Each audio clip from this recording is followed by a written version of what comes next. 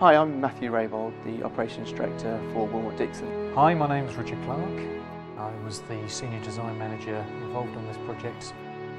This project is the new Space Technology Centre for RAL Space uh, down at the Harwell campus in Oxfordshire. And the intention of this new facility was basically to bring everything under one roof uh, in a single building. It's the world leading uh, space technology for the manufacture of satellites and equipment that go into space and it's been a real privilege working with this uh, dynamic uh, client.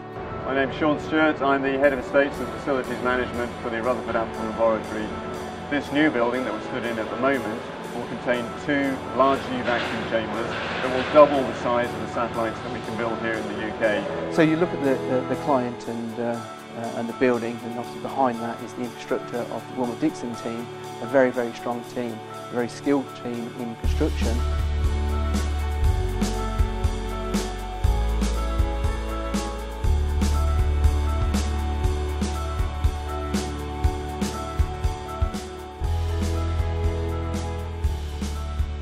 We are the, the UK's preeminent uh, manufacturer of satellites and equipment that goes into space but we are bounded by the size of the vacuum chambers that we currently have in our existing building.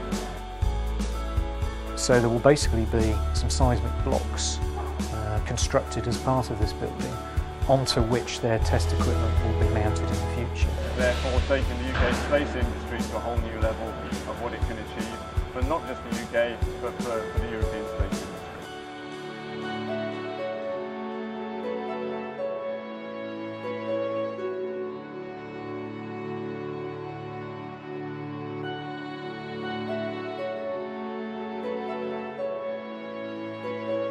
We're looking to add another 6,000 square metres of, of, office space and some more clean room accommodation so that our scientists can continue to do the great work that they're doing. And then elsewhere on the site, the, uh, the limit really is um, out of this world. Um, I was down there only uh, a week or two ago and it was great to see glass going in, uh, the coloured panels going on the outside of the building, really, really beginning to take shape.